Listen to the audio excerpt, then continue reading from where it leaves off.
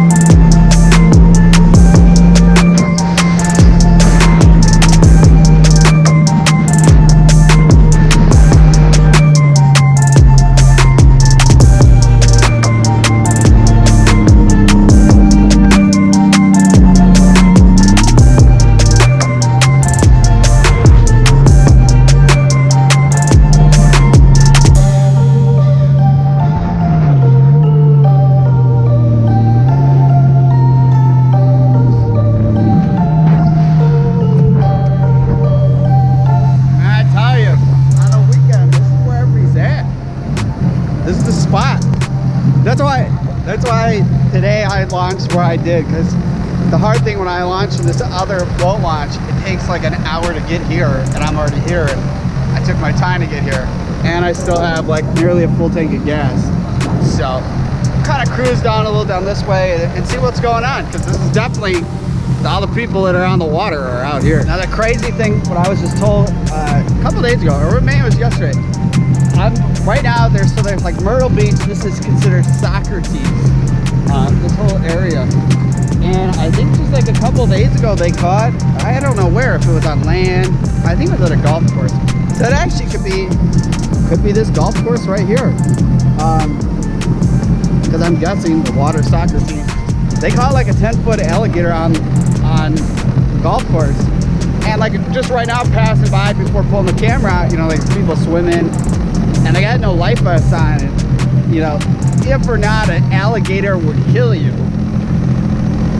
If you don't have a life vest on, most of the time how an alligator works, taking out something, uh, it drowns whatever it is. So if you don't have a life vest on, you know, you just get pulled right under and they won't let you come back up.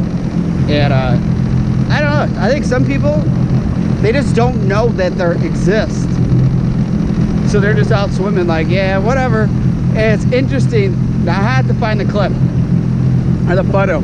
So if you look earlier on when I used to have the Yamaha Wave Venture, there was this private lake, Lake Holiday. It was in Somonauk, Illinois. That's where my parents, when I grew up, uh, when I was younger, that's where they they still had the lake house. And uh, just recently there, huge catfish, monster catfish was just caught there. I think the catfish was like 45, 35 or 45 pounds. I mean, that's like, that's big for a fish or a, a lake, a small lake. So I'll show a clip right there and you can see how big it is. And uh, it's crazy because I remember I was a little kid, man, like I told you guys in the past, I saw Jaws when I was like three, four years old over at a friend's house. And whole life I was but like petrified going in the water. I'd go in the water, but I was scared. And man, it was something really to be scared of. That's why I think those people out there, they're, I think a boat came by them. But I mean, may stuff won't happen to you and may something will, but you just never know what's in the water here. And um, I bet you it's safe for people to go in. I mean, I'm not saying like you shouldn't go in the water. I mean, you just know there are, are sharks and alligators and all that kind of stuff in the water here. So it doesn't happen to everybody. And who knows if it does happen, it just doesn't make the news. But I figured give you guys that like there was a 10 foot alligator caught here and they were trying to go after it. And the sad thing is, is when they try to go after them, they just kill them. They don't relocate them. From what I was told from somebody else that knows somebody who does that for a living uh, in the area. So that's kind of disappointing, you know, because again, moral of the story, this is their, their land, not ours.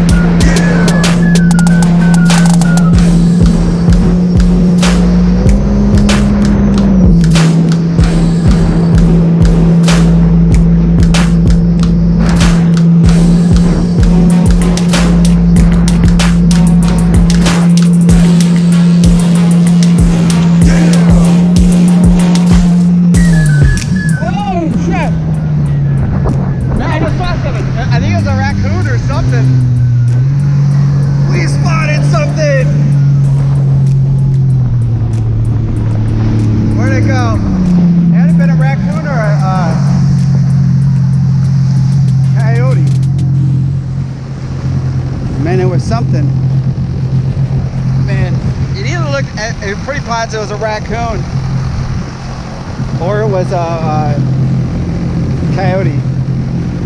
I don't know where it went. The one thing, well, it's almost dark, but usually if you didn't know, like when you see a raccoon during the day, it means it has rabies. So, which is almost dusk, so it probably doesn't, but yeah, it's like, that's crazy. That thing was like zipping. I don't know if I'll try to, if I've already edited this and see if I can zoom in to when I saw it at the corner of my eye. That's kind of where I always when I'm riding, I'm paying attention. Oh, hell yeah. Check what's coming our way. Woo! Woo! The video just got interesting.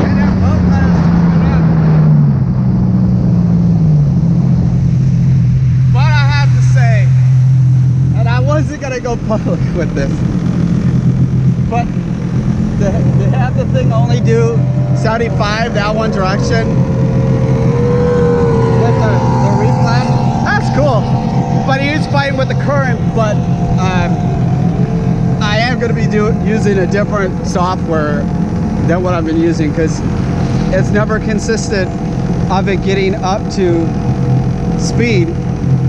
And uh, yeah there I could only tap out at 75 and uh, luckily I kind of held the win on that but it was hard with that boat coming straight at straight at at me when I was going. But uh, yeah I'm not gonna say names but if you watch past videos and it's not knocking somebody it just I want I want something consistent with this jet ski running a certain speed but yeah it, to go topping out like I was full throttle and sitting farther back.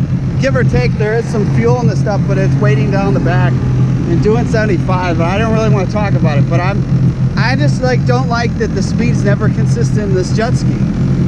Um, and I ain't gonna figure out what to do to get this to run what it should be running consistently. I take very good care of my stuff and it just kind of upsets me that it's kind of running consistent of not running that fast. So at least that one.